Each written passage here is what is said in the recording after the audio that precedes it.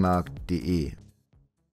Herzlich willkommen zu einer neuen Folge von Ausfahrt TV und hier ist der Schlüssel zu meinem heutigen Testwagen. Das ist der Jeep Cherokee Overland. Der Jeep Cherokee ist ein SUV oder Geländewagen vielleicht sogar aus dem Segment der Mittelklasse. Drei Mitbewerber habe ich exemplarisch für euch. Einmal der Alfa Romeo Stelvio, der Mazda CX5 und der Volvo XC60. Der Jeep Cherokee wurde als Facelift der fünften Produktgeneration im Januar 2018 in Detroit erstmalig vorgestellt. Er wird in Belvidere, Illinois in den USA gebaut. Beim Euro NCP Crash Test hat er im Jahre 2019 vier von fünf Sternen bekommen. Jeep bietet den Cherokee zum Basislistenpreis von 47.500 Euro an. Unser Testwagen in der Ausstattungslinie Overland hat einen äh, Listenpreis mit allen zusätzlichen Optionen von 52.680 Euro. Das Fahrzeug haben wir für euch nachkonfiguriert, die Konfiguration auf unserer Homepage hinterlegt. Den Link zur Homepage findet ihr unten im Videobeschreibungstext. Direkt darüber der Link zu unserem Partner leasingmarkt.de äh, die haben über alle Marken, über alle Segmente äh, klasse Leasing-Angebote, nicht nur für Gewerbe, sondern auch für Privatpersonen. Also wenn ihr überlegt, so ein Auto zu leasen, schaut auf jeden Fall mal bei Leasingmarkt in die Angebote. Der 2020 Jeep Cherokee hat einen 2,2 Liter rein Vierzylinder Diesel unter der Haube. Der leistet 195 PS und hat ein maximales Drehmoment von 450 Newtonmeter, welches bei 2000 Umdrehungen pro Minute anliegt. Geschaltet wird mittels neun Stufen Automatik. Der Cherokee hat Allradantrieb. Es gibt drei äh, unterschiedliche Allradstränge. Wir haben hier den einfachen. Der Wagen fährt in der Regel mit Frontantrieb und Allrad wird zugeschaltet geschaltet. In der zweiten Ausbaustufe hat man dann noch einen Kriechgang, also eine Low-Range-Übersetzung und in der dritten Ausbaustufe ein Sperrdifferential hinten. Unser Testwagen beschleunigt von 0 auf 100 in 8,8 Sekunden. Die Höchstgeschwindigkeit liegt bei 202 km/h. Der Durchschnittsverbrauch laut Hersteller beträgt 6,6 Liter auf 100 Kilometer bei einem CO2-Ausstoß von 175 Gramm pro Kilometer. Das sind NEFTS-Angaben. WLTP 7,9 Liter und 195 Gramm pro Kilometer. Vollbetankt mit 60 Litern Diesel kommt man im Idealfall 900 Kilometer weit. Optional kann man den Jeep Cherokee auch noch mit einem Benziner bestellen.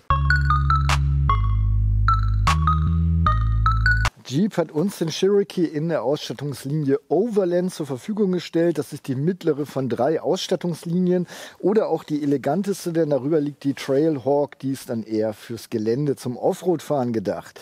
Äh, in der Basis hat das Fahrzeug schon volle LED-Scheinwerfer. Unser Modell hat zusätzlich noch LED-Nebelscheinwerfer. In der Basis steht der Jeep Cherokee auf äh, 18 Zoll Alufelgen. Zu unserer Ausstattungslinie würden äh, schlanke 19 Zoller gehören. Äh, Jeep hat uns den Wagen aber mit Winterreifen gegeben und so sieht das aus, wenn er 17 Zoll Felgen aufgezogen hat. Ja. Wir haben hier eine Bodenfreiheit von 157 Zentimeter. Die Farbe unseres Testwagens nennt sich Diamond Black und insgesamt kann man zwischen sechs Farben auswählen.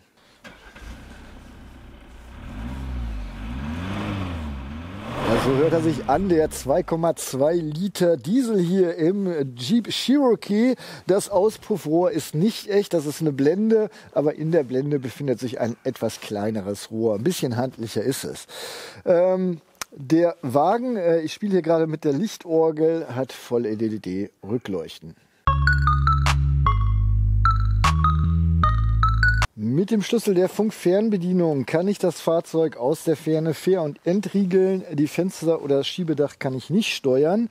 Und ich habe Keyless Go an den vorderen Türen und an der Heckklappe. Eine Jeep-Einstiegsleiste gibt es übrigens auch noch. Ich steige jetzt ein. Das muss ich eigentlich nicht ankündigen. Es geht doch ein ganz schönes Stückchen nach oben. Aber das finde ich nicht unbequem. Herzlich willkommen im Innenraum hier vom Jeep Cherokee in der Overland Ausstattungslinie. Ein Paket ist äh, zusätzlich dazugekommen, unter anderem äh, die Lenkradheizung und die Gummimatten. Schaut einfach einmal in die Konfiguration und dann wisst ihr, das kostet auch nicht die Welt an Aufpreis. Ja, Ich fange sofort an mit dem Materialcheck und wenn ich das richtig spüre, hier ist wirklich das komplette ähm, Dashboard oder Armaturenbrett mit richtigem Leder bezogen. Es fühlt sich auf jeden Fall wie Leder an. Lediglich hier die Klappe, äh, da haben wir harten Kunststoff. Und auch im vorderen Bereich, da hinten die Kante, das ist auch harter Kunststoff, aber das ist alles schön weich. Dann hier der Anschluss, äh, auch wieder harter Kunststoff, genauso der Deckel vom Handschuhfach. Wenn wir hier unten gucken, Teppich, harter Kunststoff, harter Kunststoff. Das Infotainment-System ist hochglänzend schwarz eingefasst. Hier wieder harter Kunststoff, da auch. Hier auch noch ein bisschen hochglänzend schwarz. Und die Mittelarmlehne, da würde ich sagen, das ist auch wieder Kunstleder, während die Sitze mit echtem Leder bezogen sind und die Sitzflächen sind auch perforiert wegen der Sitzbelüftung. In der Tür im oberen Bereich haben wir eine weiche Oberfläche, daran anschließend dann Kunststoff, auch die Armlehne und hier haben wir dann wieder harten Kunststoff. Das gilt auch für den unteren Bereich, das ist auch komplett harter Kunststoff. Die A-Säule ebenfalls, der Himmel, der ist dann mit Stoff bezogen, aber eine echte Unterschäumung äh, oder Unterfütterung spüre ich hier nicht. Ja, vielleicht Ganz bisschen, ein ganz, ganz bisschen. Ja, was das Materialmix angeht, äh, es ist ein Amerikaner, da erwartet man ja erstmal nur eine Plastikwüste. Ähm, das ist hier gar nicht so. Was ich sehr schön finde, ist äh, wirklich hier äh, die Echtlederausstattung und auch das bisschen Holz am Lenkrad, was ich euch noch gar nicht gezeigt habe. Das ist äh, schon eine feine Sache. Rein von dem Materialmix, ich finde es äh, angenehm und auch passend, vor allen Dingen, wenn man sich dann den Kaufpreis ansieht. Dann mache ich gleich weiter mit der Ergonomie. Der Startknopf wäre hier unten. Den drücke ich auch einmal. Jetzt fährt auch der Sitz nach vorne, damit sich hier das äh, Infotainment-System einmal aufbaut. Ich fange aber an mit den Lüftungsdüsen. Die kann ich frei verstellen und habe auch noch den Regler für den Luftstrom. Und das ist bei den äußeren Lüftungsdüsen genauso gegeben. In der Mitte dann ein 8,4 Zoll Display, meine ich als Touchscreen aufgebaut und auch äh, mit einem Screen für die Steuerung der Sitzheizung. Äh, darunter dann äh, Fahrassistenzsysteme und der Warnblinkschalter hier groß und zentral angebracht. Äh, noch eine Etage tiefer auch nochmal hier ESC und Start-Stopp. Den Screen kann ich ausschalten, das System muten, Lautstärkeregler und Browser quasi und hier dann die Steuerung der Klimaanlage mit den zwei Klimazonen. Eine Etage tiefer haben wir hier den Fahrmodi-Schalter, kann ich halt äh, dran drehen, um die einzelnen äh, Fahrmodi anzuspringen. Und äh, hinter dem Gangwahlhebel habe ich dann noch den äh, Hebel für die elektrische Feststellbremse. Bei dem Lenkrad handelt es sich um ein Multifunktionslenkrad. Das ist hier unten mit Leder bezogen und oben haben wir so ein bisschen dunkles Holz. Das Lenkrad kann ich manuell verstellen. Und das ist hier der Radio, das, den ich habe. Äh, leicht oberhalb der unteren Position kann ich dann das Cockpit auch hervorragend einsehen. Nur wenn ich es ganz runterschalte, passt das halt nicht. Auf der linken Seite steuere ich den Bordcomputer und habe hier noch äh, Funktionen vom Infotainment-System. Und auf der linken Seite steuere ich den Tempomaten bzw. adaptiven Tempomaten bzw. Speedlimiter und hier die Abstandsregelung. Zu dem äh, Extra-Paket gehören auch die Schaltwippen am Lenkrad. Das ist allerdings hier nur so ein kleiner Bereich, da passen gerade zwei Finger drauf. Fühlt sich metallern an. Ich würde aber sagen, das ist nur beschichtetes Plastik. Und hier im unteren Bereich kann man das sehen. Auf der rechten Seite habe ich über die Wippe die Lautstärke und einen Taster zum Muten des Systems. Und auf der linken Seite kann ich durch Sender skippen und mit dem Taster äh, die Quelle auswählen. Also Apple CarPlay oder AM, FM, DAB. An der Lenksäule rechts dann der Scheibenwischerschalter für vorne und hinten. An der Lenksäule links tatsächlich nur äh, Fernlicht, Lichthupe und Blinker. Den Lichtschalter habe ich hier links neben dem Lenkrad. Dazu noch Cockpit und äh, die Lichteinstellungen und hier kann ich äh, die Heckklappe hinten noch öffnen. In der Erweiterung der Armlehne haben wir dann einmal die Zentralverriegelung, dazu noch die vier elektrischen Fensterheber mit dem äh, Sperren der Fenster hinten und die Spiegelverstellung. Äh, dazu im oberen Bereich hier noch äh, zwei Speicherplätze für die Sitzkonfiguration und hier kann ich per Knopfdruck die Spiegel auch anklappen lassen. Ich bin, äh, äh, jetzt seht ihr das mal mit dem Sitz, dass er ständig vor und zurück fährt. Äh, ich bin 1,80 Meter groß. Ich presse mich mal in den Sitz. Zwischen meinen äh, Kopf und dem Himmel passt gerade mal so quer eine Faust und das auch nur zögerlich. Äh, dennoch fühle ich mich in der Kopffreiheit nicht beengt äh, und auch zur Seite nicht. Ich bin mit Alex mit dem Auto äh, gut 600 Kilometer, meine ich, gefahren. Äh, das passt auf jeden Fall. Äh, man fühlt sich hier überhaupt nicht beengt. Man hat eine ganze Menge Platz. Ähm, und auch der Blick nach vorne, das ist in Ordnung. Was man auch noch mal hier festhalten kann, man sitzt wirklich gefühlt extrem hoch in dem Auto. Also ähm, auch im, im, Straßenverkehr, man denkt schon, man ist noch mal ein Stückchen höher, als, als man wohl wirklich sitzt. Das äh, finde ich ganz interessant. Äh, die Sitze äh, empfinde ich hochkomfortabel. Also da hatte ich eine ganze Menge Spaß drin. Ähm, die kann ich elektrisch verstellen, vor und zurück, hoch und runter. Äh, kann ich vorne ankippen, Ne, hinten fährt er dann nur mit. Äh, die Lehne selbstverständlich verstellen und ich habe noch eine Lordose-Stütze, die in alle vier Richtungen funktioniert. Dazu im Infotainment-System die Steuerung hier von Sitzheizung und Lü Sitzbelüftung, zweistufig. Die Sitzheizung, äh, Sitzlei die Heizleistung in High ist auch ordentlich und äh, die äh, Belüftung funktioniert halt auch. Dazu noch die optionale Lenkradheizung. Ein bisschen nervig ist, dass wenn man jetzt hier am Fahren ist, dass man keine Knöpfe hat, sondern tatsächlich eins, zweimal mindestens tippen muss. Und ihr seht es hier auch nochmal ganz schön, Sitzheizung und Sitzbelüftung gleichzeitig funktioniert halt nicht. Dann starte ich das Fahrzeug nochmal für die Lichtorgel haben wir so einen klassischen Drehzahlmesser auf der linken Seite, der Tachometer genauso klassisch auf der rechten Seite, dazwischen dann ein großes oder ein größeres Display. Im unteren Bereich Kühlwassertemperaturanzeige und Tankanzeige, die Gesamtlaufleistung wird auch noch angezeigt. Äh, oben die Himmelsrichtung, die Außentemperatur und die Mediaquelle, die gerade aktiviert ist. Äh, und dann haben wir Teile noch äh, hier von den Assistenzsystemen, in dem Fall der Spurhalteassistent. Äh, rechts dann sehe ich die Fahrstufe, die eingelegt ist. Und wenn ich hier das Fahrprogramm ändere, dann wird mir das nur einmal kurz im Display angezeigt und danach verschwindet das dann auch wieder. Und äh, ich kann jetzt mal durch den Bordcomputer durchschalten. Geschwindigkeit, Fahrzeuginfos, da haben wir ein bisschen mehr. Ich glaube, ich muss das hier nicht alles kommentieren. Ihr habt ja alle gute Augen. Ich hoffe, die Kamera fängt das auch einigermaßen an. AdBlue hatten wir schon. Fahrassistenzsysteme, Screen, Kraftstoffverbrauch, auch da gibt es zwei Ansichten. Trip-Info, Ebenfalls zwei Trips können wir hier bedienen. Start, Stopp, was auch immer. Audio, Meldungen. Das Display kann ich noch anders konfigurieren. Und das war es dann auch schon. Mache ich gleich weiter mit dem Rundumblick. An der B-Säule kann ich gut vorbeisehen. Auch an den A-Säulen, äh, da seid ihr. B-Säule okay, C-Säule okay. Ähm, ja, und dahinter haben wir dann definitiv einen toten Winkel, egal ob die Kopfstütze ausgefahren ist oder nicht. Vor allen Dingen, wenn noch jemand da sitzt, dann verdeckt er auch noch das Fensterchen. Da hinten ist das Auto dann aber auch schon zu Ende. Toten Winkel kann ich immer über einen Blick in den Seitenspiegel aufheben. Die Spiegelfläche ist hier auch sehr schön groß, passt gut zum Fahrzeug. Ich kann den rückwärtigen Verkehr hervorragend im Auge behalten. Damit glänzt der Innenspiegel nicht ganz so. Ich kann zwar gerade noch so mit einem Blick die komplette Heckscheibe erfassen, aber die Sicht nach hinten durch den Rückspiegel ist dann auch durch die Kopfstützen äh, limitiert, wenn die dann ausgeklappt sind und auch sonst ist das Fenster nicht besonders groß. Der Wagen kommt dann noch mit einer Rückfahrkamera, so sieht die aus. Das Bild weder knackig noch scharf.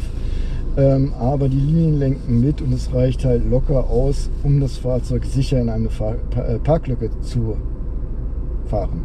So, dann bin ich auch schon durch. Das Einzige, was noch fehlt, ist der Hupencheck. So hört sich die Hupe an im Jeep Cherokee. Dann mache ich gleich weiter mit dem Ablagencheck und zeige euch hier die Ablagen im Vorderwagen. Fangen wir immer an mit den Türtaschen. Hier habe ich die halbe Liter Flasche von unserem Partner Y-Food, die ich immer als Musterflasche nehme. Die ist ehrlich gesagt von Alex. Der äh, konsumiert das nämlich auch, das Y-Food. Äh, wenn auch ihr konsumieren wollt, im Beschreibungstext findet ihr einen Rabattcode. Ähm, Literflaschen wird hier schon eng, das sieht man glaube ich. Dahinter dann auch noch ein bisschen Staufach, das geht ungefähr bis hier. Da kann man zumindest ein paar Warnwesten verstauen. Und die Griffschale haben sie auch mit so einem kleinen Plättchen rutschfest ausgekleidet. Links neben dem Lenkrad haben wir dann noch ein Minifach. Auch das, nee, das ist harter Kunststoff geriffelt. Ähm, ist ja so ansatzweise rutschfest ausgekleidet. Ich weiß auch nicht, was man da rein tun soll. Aber ein kleines Fach gibt es. Vor dem Gangwahlhebel habe ich dann auf der einen Seite USB und AUX. Der USB-Anschluss ist mit dem System verbunden. Und dazu noch ein 12 äh, mit einem Zigarettenanzünder. Dahinter dann ein schmales Fach, aber ziemlich tief. Eine rutschfeste Matte ist da durchaus drin. Und hier als Größenvergleich mein iPhone 11 Pro Max passt hier hervorragend rein. Und das kann ich dann auch nebenbei laden. Wir haben hier zwei Getränkehalter noch hinter dem Gangwahlhebel. Äh, da gibt es so drei Luftblasen als Abstandshalter. Ich nehme mal wieder hier meinen halben Liter Y-Food. Der passt hier super rein. Viel mehr Platz haben wir aber auch nicht. Auch auf der anderen Seite greift er gut und äh, hält sicher, kippelt wenig. Hinter dem Getränkehalter dann hier nochmal so ein kleines Fach, eher für einen Stift geeignet, aber auch rutschfest ausgekleidet. Dann die Mittelarmlehne kann ich nicht verstellen, sondern tatsächlich nur öffnen. Und hier hat der Alex nochmal Kaffee mit. Äh, da gibt es dann auch nochmal einen 12 Volt Anschluss und einen zweiten USB Anschluss. Dazu Münzhalter, wenn ich das hier richtig verstehe. Ja, und unten sieht man auch noch eine Filzmatte. Und das ist genug Höhe, dass dieser halbe Liter auch drin stehen kann in dem Abteil.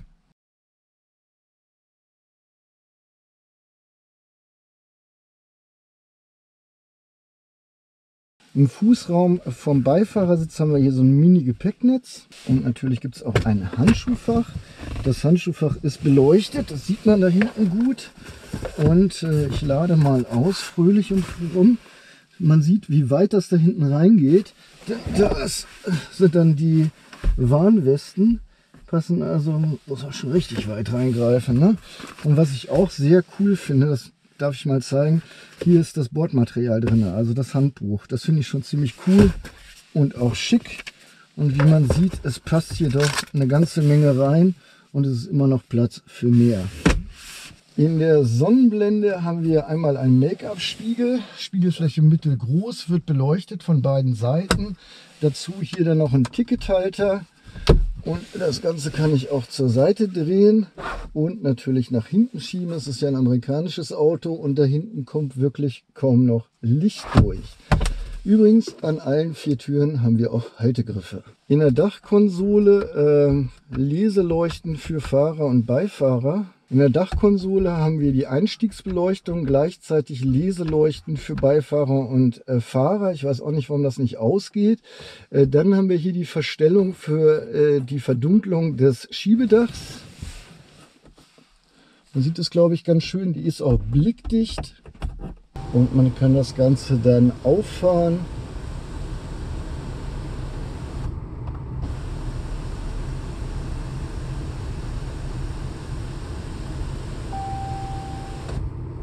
Über beide Bereiche.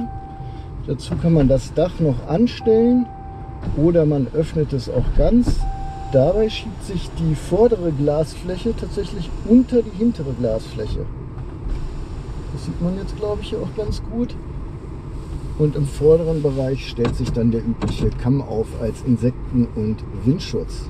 Ja, und damit habe ich euch auch äh, alles gezeigt hier an Ablagemöglichkeiten.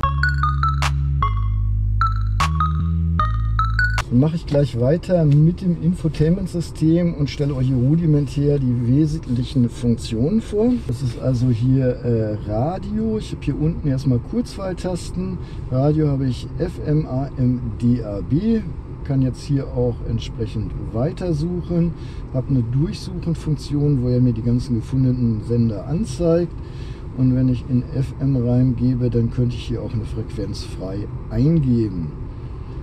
Ja, dazu haben wir hier dann noch die Einstellungsmöglichkeiten der Feder, einen dreistufigen Equalizer und äh, Surround Klang kann ich auch noch aktivieren bzw. deaktivieren. Analog dazu äh, Medien, USB 1, USB 2, USB 3 kann ich hier ansteuern. Dazu noch Bluetooth und AUX in. Nicht nur die äh, Sitze haben hier ihr eigenes Feld, sondern auch die Klimaanlage hat dann nochmal äh, einen eigenen Screen, wo ich alles Mögliche einstellen kann. Wir gehen aber weiter zur Navigation. Ich gebe eine Adresse ein in Deutschland. Ich suche Bielefeld, hat er auch schon gefunden, also okay. Das wähle ich aus und sage Werther Straße mit der Hausnummer 42. Das Ganze mit OK bestätigen.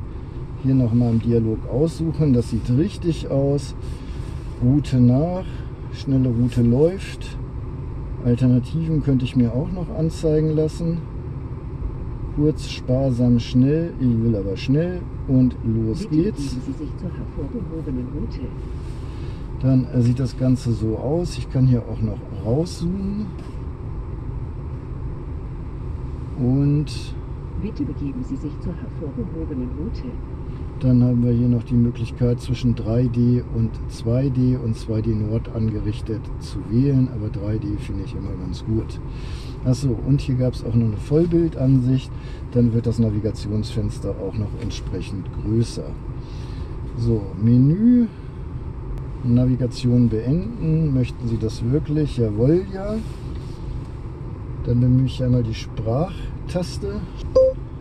Suche Adresse Wertherstraße 42 Bielefeld.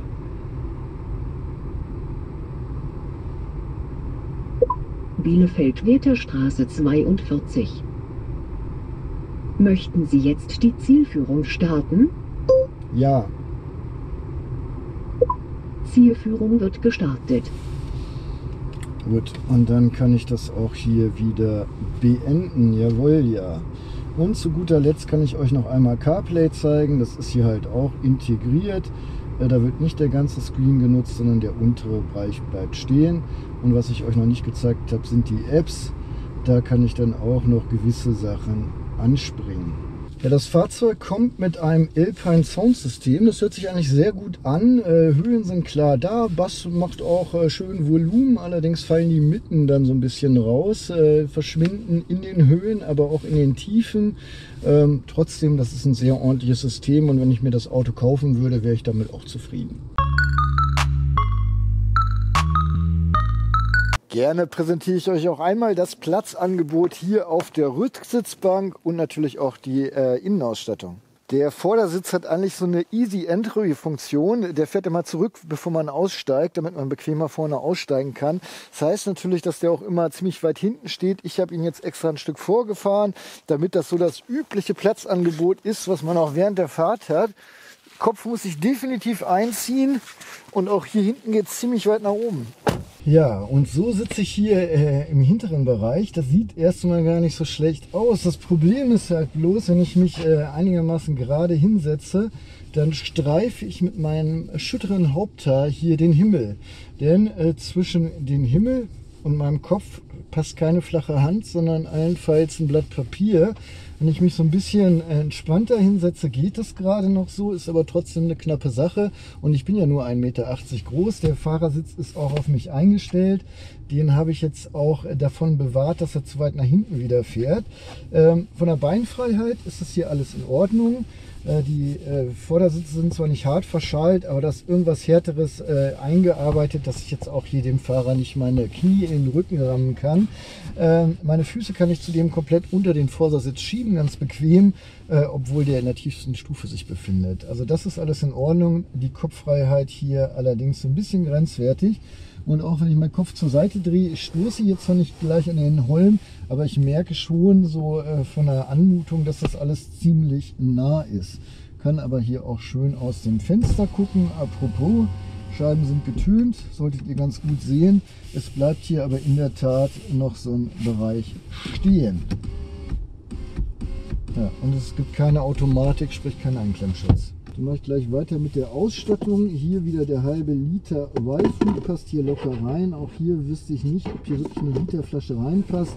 Dahinter noch ein kleines Staufach. Das endet hier aber auch direkt. Da gibt es keine zusätzliche Reserve. Oder vielleicht eine Warnweste kann ich da gleich noch reinschieben. Auch hier die Griffschale wieder rutschfest ausgelegt. Im oberen Bereich dann der Haltegriff äh, mit einem kleinen Kleiderhaken, den ich hier so runterziehen kann. Und äh, die Beleuchtung, die ich irgendwie gerade nicht deaktiviert kriege. Zumindest eine Leseleuchte, also für die äußeren beiden Sitzplätze. An der Stelle einmal verwiesen aufs Panoramadach, was ja serienmäßig dabei ist. Ich habe also hier einen schönen Blick nach oben. Klar, so einen dicken Balken dann noch, aber der stört nicht wirklich, weil hier, guck mal, da ist die Sonne. An der Rückseite der Vordersitze haben wir dann äh, Fächer für Zeitungen und Magazine. Es geht auch ziemlich weit rein, da sollte also auch einiges reinpassen. In der Mitte dann zwei Luftausströmer, die ich frei verstellen kann. Und den Luftstrom kann ich hier für beide gemeinsam regeln. Ein bisschen weiter unten dann Sitzheizung für die äußeren beiden Sitzplätze, zweistufig. Und hier dann noch zwei USB-Anschlüsse und auch noch ein ähm, 230 Volt Anschluss, den ich mit 180 Watt belasten kann. Wagen kommt auch mit einer Mittelarmlehne. Hier enthalten sind dann zwei äh, Getränkehalter wieder. Und da habe ich ebenfalls die drei Luftpolster, allerdings ein bisschen weniger Platz als vorne. Zumindest fühlt es sich so an. Der halbe Liter Weifgut, der passt aber hier auch wieder prima rein.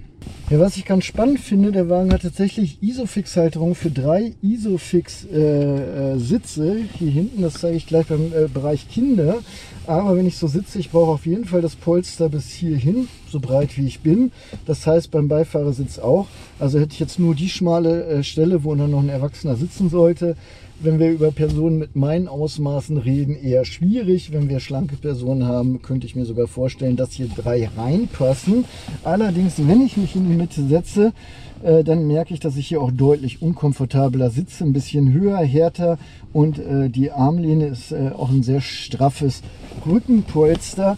Also auch das wäre jetzt nicht äh, mein Wunsch, aber hier dann nochmal die Einblendung mit den drei Jans, dann seht ihr, äh, wie eng ich sitzen würde. Ein praktisches Feature ist dann noch, dass man die Rücksitzbänke, also die beiden Hälften, auch nochmal hier um gut äh, 15 cm, schätze ich mal, verschieben kann. Somit entweder den Kofferraum vergrößert oder aber auch ein Kleinkind, was hier oder da angeschnallt ist, näher an die Vordersitze ranbringt, dass man nochmal schnell den Schnuller einstecken kann. Ja, was die Kinderchen angeht, wir haben hier elektrische Fensterheber, allerdings ohne Automatik, was dementsprechend heißt auch ohne Einklemmschutz. Das ist ein bisschen schade, denn hinten an der Heckklappe, da funktioniert der Einklemmschutz sowohl im oberen als auch im unteren Bereich hervorragend. Ja, wir haben Isofix-Halterung hier direkt zwischen den Polstern und jetzt hier das nächste für den Mittelsitz. Das ist dann so ein doppeltes Ding und hier nochmal einzeln. Also müsste man hier eigentlich drei Isofix-Sitze einbringen können. Ob das von der Breite ausgeht, konnte ich leider nicht ausprobieren. Die Gurtpeitschen, zumindest für die äußeren beiden Sitze, sind starr. Da können sich die kleinen Kinder äh, gut selbstständig anschnallen. Und der dritte, der Gurt für den dritte Person ist hier auch direkt im Sitz angebracht. Es gibt keine Möglichkeit, den Beifahrer-Airbag zu deaktivieren. Auf dem Beifahrersitz haben wir leider keine Isofix-Halterung. Ich habe mehrere Möglichkeiten, den Kofferraum zu öffnen über die äh, Funkfernbedienung, über einen Knopf im Innenraum, äh, den Taster hier oder aber über eine lockere Wischgeste unterhalb des Stoßfängers. Und dann öffnet sich die Klappe.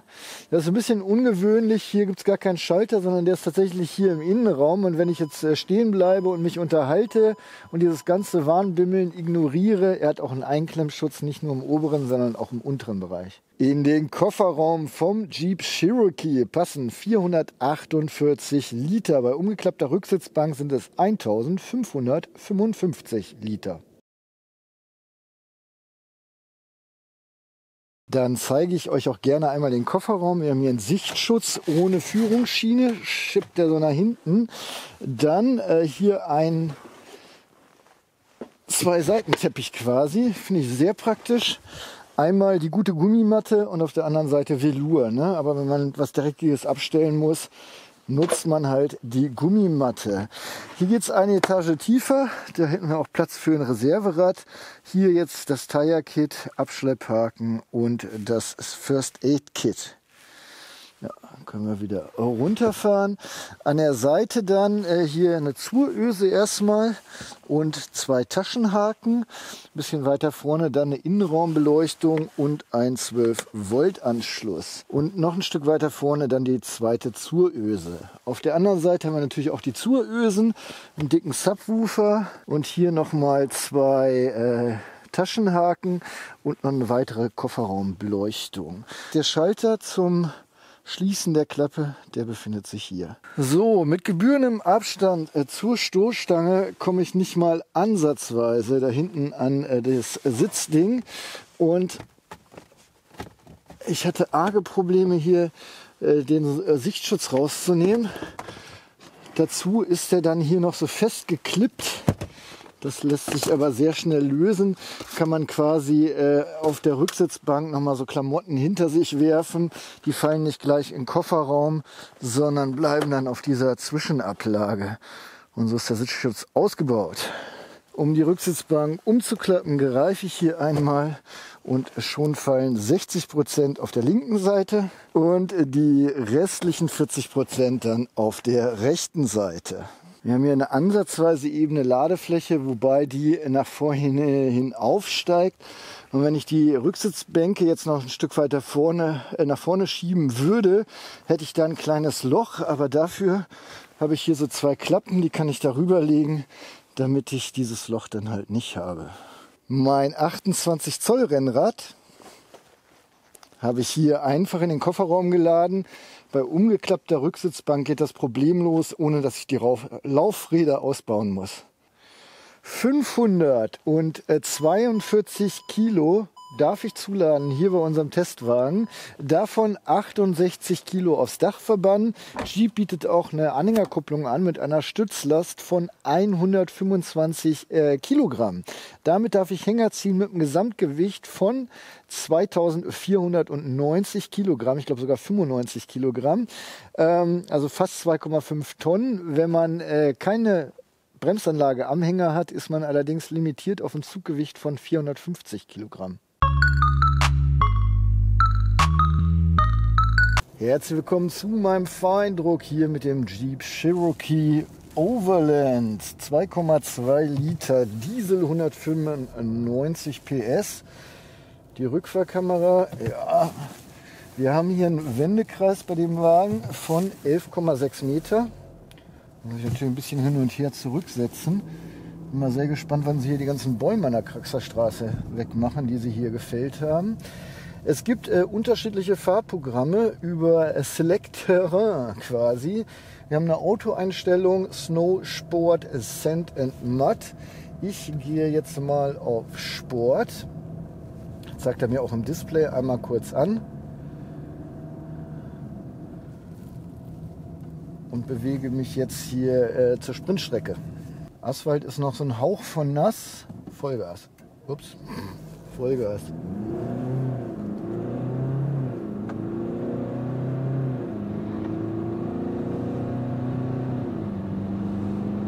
ja, noch vor, weit vor dem 70-Schild, aber man hat, glaube ich, schon gemerkt, ähm, so ein richtiger Schnellstarter ist er nicht. Wobei auf dem Papier liest es sich anders. 8,8 Sekunden, das ist ja durchaus okay. Ich habe das Licht angeschaltet, damit ihr hier einmal seht, äh, die Schalter sind weiß beleuchtet und zwar alle, auch die auf dem Lenkrad. Und so kann ich auch alle Schalter im Dunkeln finden. Ich gehe mal wieder zurück auf die Autoeinstellung. Der Cherokee kommt natürlich vorne und hinten mit Scheibenbremsen. Die haben auch überhaupt keine Probleme, hier die 2 Tonnen Leergewicht entsprechend zu verzögern. Wenn ich äh, den Fuß aufs Bremspedal lege, sobald ich Druck ausübe, äh, verzögert der Wagen auch. Also man hat da jetzt nicht einen Weg, den man erst gehen muss, sondern sofort bei Druck bremst das Fahrzeug runter. Der Wagen kommt mit einer 9-Gang-Automatik. Ähm, ab und zu habe ich das Gefühl gehabt, die könnte noch einen Tucken früher schalten. Dann hält er die Drehzahl noch, obwohl eigentlich so von der Fahrsituation es jetzt schon ähm, geschaltet werden könnte, gerade bei so ähm, Automatikgetrieben mit diversen Gängen, also äh, 8 plus oder 7 plus. Das ist ja nicht dafür gemacht, dass ich immer eine tiefe Drehzahl habe, der Wagen ruhig läuft, wenig verbraucht. Und hier hatte ich äh, das eine oder andere Mal das Gefühl, er könnte ruhig ein bisschen früher schalten. Das ist nicht wirklich störend. Er dreht auch jetzt nicht wahnsinnig hoch. Aber wenn man das Auto ein bisschen gefahren ist und die Geräuschkulisse kennt, dann merkt man halt, Mensch, da geht noch ein bisschen was. Ja, und im Übrigen kann ich auch manuell schalten. Drücke ich den Gang hier rüber und kann dann hoch runter schalten oder ich nutze halt äh, die Schaltwippen. So, jetzt sind wir auf der Fahrwerkstrecke. Ich versuche mal hier 55 km/h auf meinen Fuß zu bekommen. Zwei Dehnfugen vorweg, die spüre ich. Aber das äh, finde ich noch so im Rahmen. Ist ganz lustig. Ich habe gestern mit Alex im Auto gesessen. Wir waren uns einig, dass der Wagen sehr komfortabel ist. Jetzt hier die Wellen und die nimmt er auch gut weg. Aber wenn die Fugen so ein bisschen oder die Wellen ein bisschen stärker werden, dann ähm, spüre ich das schon und höre das. Die Sitze federn aber eine ganze Menge weg. Aber was ich eigentlich sagen wollte, mit Alex besprochen, ja, der ist wirklich angenehmer Reisebegleiter, schön komfortabel, auch auf der Autobahn. Und dann fahren wir just auf so ein Stück zu, wo es die ganze dumm, dumm, den Fugen gibt. Und dann denkst du, sag mal, habe ich das jetzt die, die anderen 1500 äh, Kilometer nicht richtig wahrgenommen? Oder achtet man dann speziell drauf? Ich lege mich aber fest, dass der für ein SUV auf jeden Fall komfortabel äh, abgestimmt ist und dass die Sitze in Verbindung mit dem Fahrwerk das Fahrzeug zum wirklich angenehmen Reisebegleiter machen. Was ich ganz vergessen habe, eben eine Lenkradumdrehung und eine Viertel, das heißt zweieinhalb Lenkradumdrehungen von Lenkanschlag zu Lenkanschlag. Und ihr seht es vielleicht auch, es lässt sich hier wirklich herrlich einfach bewegen, zumindest für das große Auto. Also die Servounterstützung auch beim Einparken ist sehr angenehm. So, jetzt äh, geht es auf die Autobahn. Sportprogramm bemühe ich mal nicht. Ja, und durch die hohe Sitzposition hier eigentlich äh, den Wagen so ein bisschen zur Trutzburg macht, aber habe ich zumindest Hemmungen, hier schneller als 60 in der Kurve zu fahren. Kann aber festhalten, dass die Sitze sogar einen Hauch von Seitenhalt bieten im oberen Bereich. Ist hier von 90 mal voll aufs Gas und ich bleibe auch stehen.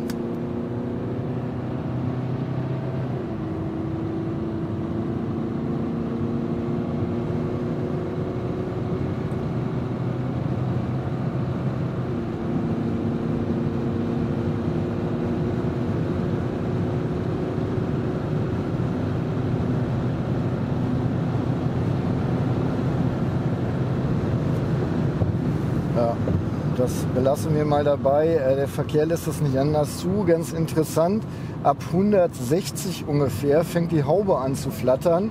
Ähm, das hatten wir schon auf der Autobahn, haben dann auch angehalten, geguckt, ist sie wirklich ordentlich verriegelt? Ja, ist sie, aber äh, macht mich immer so ein bisschen nervös, wenn so eine Haube flattert. 100 km/h im neunten Gang bei 1500 Umdrehungen. Da wird zurückgeschaltet, warum auch immer. Ähm, ganz leichte Windgeräusche, aber kaum wahrzunehmen. Das Auto läuft schön ruhig und den Diesel höre ich aber auch noch so ein bisschen grummeln. 120 im neunten Gang bei 1800 Umdrehungen. Die Windgeräusche ein bisschen lauter geworden, aber ich kann mich hier noch ganz normal mit euch unterhalten. 140 im neunten Gang bei 2000 Umdrehungen. Ich kann immer noch ganz normal zu euch sprechen. Die Windgeräusche vielleicht noch einen Hauch lauter geworden, aber alles im Rahmen. Schön ruhig hier im Auto. 160 jetzt bei 2200 Umdrehungen. Jetzt wird das Geräusch, das ganze Umgebungsgeräusch schon ein bisschen lauter, aber ich muss meine Stimme halt immer noch nicht heben. Das wäre auch immer noch eine akzeptable Reisegeschwindigkeit. Knapp 180 jetzt bei 2500 Umdrehungen. Jetzt werden die Windgeräusche schon ein bisschen lauter. Ich hebe meine Stimme ganz leicht. Ich habe aber gestern Abend auf der Rückfahrt mit Alex mich bei 180 auch noch nett unterhalten können, ohne dass wir uns jetzt anschreien. Also auch 180 würde ich noch als akzeptable Reisegeschwindigkeit akzeptieren. Der Jeep hat Verbrauchsangaben von 6,6 Liter Neftsangabe und 7,9 Liter WLTP. Wir sind jetzt hier gut 1400 äh, Kilometer mit dem Auto gefahren oder nicht ganz und kommen auf einen äh, Durchschnittsverbrauch von 8,3 Liter, 8,4. Ja, springt da wohl so ein bisschen, hoppla. Also 8,4 Liter, das finde ich immer noch akzeptabel, wenn man überlegt, dass der WLTP bei 7,9 liegt. Viel wichtiger ist aber, Alex ist den Wagen ja weitestgehend gefahren, der macht auch Effizienzrunden und ist äh, bei einer effizienten Fahrt, die nicht spaßbefreit war, also durchaus ein bisschen Autobahn, äh, da auch nicht nur Strich 130 fahren, auf einen Wert von 6,6 Liter gekommen. Er ist also exakt auf den Neftswert gekommen. Und da muss ich sagen, äh, das finde ich doch durchaus beeindruckend, auch wenn wir mit den 8,4 Litern jetzt äh, deutlich über den 6,6 liegen. Wir sind aber nah genug am WLTP dran, von dem wir ja alle wissen, dass der wirklich äh, realitätsnah ist als der Neftverbrauch. Von daher finde ich das ähm, ein sehr akzeptables Ergebnis für das Fahrzeug, bei dem Gewicht und der Größe auch. Zum Ende fasse ich kurz zusammen. Ich möchte hervorheben, diese wirklich gefühlt sehr, sehr hohe Sitzposition, die da wirklich einen guten Blick gibt und auch ein sehr sicheres Gefühl vermittelt, ist äh, kombiniert mit einer Fahrwerk-Sitzkombination, die sehr angenehm ist, mit einem 2,2 Liter Diesel mit 195 PS, der ausreichend motorisiert ist, um auch zügig auf der Autobahn unterwegs zu sein, der sich aber deutlich wohler fühlt, meine ich zumindest so im Bereich zwischen 140 und 160 km/h. Da passt es auch hervorragend mit der Reise, Reiselautstärke. Im Grunde für mich ist es ein perfekter Langstreckenbegleiter, vor allen Dingen mit dem Dieselmotor, den man aber auch in der Stadt gut lenken kann. Äh, da kommt einem dann wieder die Lenkung zugute, die schön freigängig ist. Und ich finde das Auto auch übersichtlich. So, mehr muss ich glaube ich nicht sagen. Dann komme ich noch zu den Assistenzsystemen. Bisschen verwirrend. Wir haben hier einmal den normalen Tempomaten äh, auf der rechten Seite und dann gibt es hier nochmal den Abstandstempomaten, den man dann äh, nicht gleich setzt. Oder ich dachte zumindest bei den ersten Fahrten, nö, kein Abstandstempomat, gibt es doch gar nicht. Den habe ich aber, habe den jetzt mal gesetzt auf 120. Ich fahre hinterm LKW her, der fährt natürlich deutlich langsamer, also fährt das Auto hier auf das Fahrzeug zu und bleibt mit gebührendem Sicherheitsabstand in der äh, Geschwindigkeit des Fahrzeugs vor uns hinter ihm. Und den Abstand äh, könnte ich auch noch regulieren, wenn ich möchte. Das sieht man aber kaum hier im Display. Äh, der ist also auf jeden Fall schon mal gegeben. Dann habe ich einen aktiven Spurhalteassistenten, sieht man hier links äh, oben bei der Geschwindigkeit jetzt grün leuchtend. Er hat die Spuren also erkannt. Ich lenke mal raus. Er fängt sich wieder, lenkt mich aber zur linken Seite. Er fängt sich wieder und regelt jetzt hier halt so ein bisschen hin und her. Das heißt, das Fahrzeug hält mich mit dem Assistenten nicht konstant in der Spur. Wir haben auch einen Totwinkelwarner. Hier schiebt sich gerade eine A-Klasse an mir vorbei. Die ist quasi mit ihrer Stoßstange auf der Höhe meiner äh, hinteren Stoßstange und äh, dann warnt mich das System. Ich persönlich würde mir wünschen, wenn es mich ein bisschen früher warnt, gerade der Audi kommt jetzt hier mit ein bisschen höherer Geschwindigkeit daher oder jetzt im Rückspiegel sehe ich noch einen Volvo kommen. Und bei so einer Geschwindigkeit wäre die Warnung natürlich ein bisschen früher doch sehr angenehm eigentlich. Was fehlt, ist eine Verkehrszeichenerkennung. Ich habe jetzt gerade nochmal aufs Navi hier auf die Kartenansicht umgestellt. Da wird mir zwar ein Tempolimit angezeigt, das passt aber hier auch definitiv nicht. Hier war mal 130, glaube ich, weiß ich aber auch nicht genau. Äh, es ist definitiv hier offen, also werden mir hier vermutlich äh, Daten aus dem Kartenmaterial kredenzt, die auch nicht ganz aktuell sind. Ja, aber drei von vier Systemen hat er. Und auch in der Ansicht Fahrassistenzsysteme wird mir tatsächlich nur der ACC und der Spurhalteassistent angezeigt. Ähm, damit bin ich dann auch schon durch mit den Assistenzsystemen. Natürlich gibt es auch einen City-Notbremsassistenten, den müssten die aber meines Erachtens mittlerweile alle haben und ich kann die auch nicht wirklich testen. Ja, Kinder, das war's auch schon. Unsere Videokaufberatung zum Jeep Cherokee Overland mit dem 2,2 Liter Diesel. Zum Ende zwei Punkte, die mir nicht so gut gefallen. Ähm, zum einen, dass ich hier hinten als Erwachsener mit einer Körpergröße von 1,80 Meter nicht vernünftig sitzen kann, finde ich ein bisschen dramatisch, weil man das Schiebedach auch nicht abbestellen kann beim Overland. Das ist einfach dabei. Ne? Das ist Serie. Und der zweite Punkt im Infotainment-System, wir haben ja kalte Tage, darum sehe ich ja auch so aus, äh, dass man äh, drei, nee, zwei Klicks im Infotainment-System braucht, um zur Sitzheizung zu gelangen, statt einfach einen Schalter irgendwo zu haben, wo ich sie äh, einfach aktivieren kann. Ja, gut gefällt mir hingegen, äh, dass es äh, die Sitze mit dem Fahrwerk und der Motorisierung machen aus dem Fahrzeug einen hervorragenden Langstreckencruiser. Du kannst wirklich sehr bequem auch lange Strecken unermüdet zurücklegen. Und der zweite Punkt ist, dass man bei effizienter, aber nicht spaßbefreiter Fahrweise in den Nefts reinfahren kann mit 6,6 Liter. Das geht durchaus, ohne dass man sich beim Fahrspaß oder bei der Fahrweise zu sehr kastrieren muss. Und da muss man wirklich sagen, Chapeau, das hatten wir auch schon lange nicht mehr in der Form so. Zumindest bei so einem großen SUV. Ja, äh, meine Bewertung, die ich hier eingeblendet habe, die erkläre ich auch nochmal in einem Meinungsvideo. Das findet ihr auf Ausfahrt TV Plus. Das ist einmal unten im Videobeschreibungstext verlinkt und äh, kommt auch im Abspann. Ich glaube, oben links könnt ihr direkt anklicken und das zweite Video gucken. Da erkläre ich nochmal, warum ich wie was bewertet habe. Sollte euch das Video gefallen haben, freue ich mich immer über einen Daumen nach oben. Sollte ich irgendwas falsch gesagt haben oder ihr wollt eure Meinung kundtun, ich freue mich sehr, wenn möglichst viele Leute viele, viele Kommentare schreiben. Kriege ich auch immer ein bisschen Feedback äh, und sehe, äh, wie ihr das seht und äh, kann da gegebenenfalls drauf eingehen. Ja, das soll es gewesen sein an dieser Stelle. Ich verabschiede mich wie immer vom kalten Bilsterwerk und sage Tschüss bis dann, euer Jan.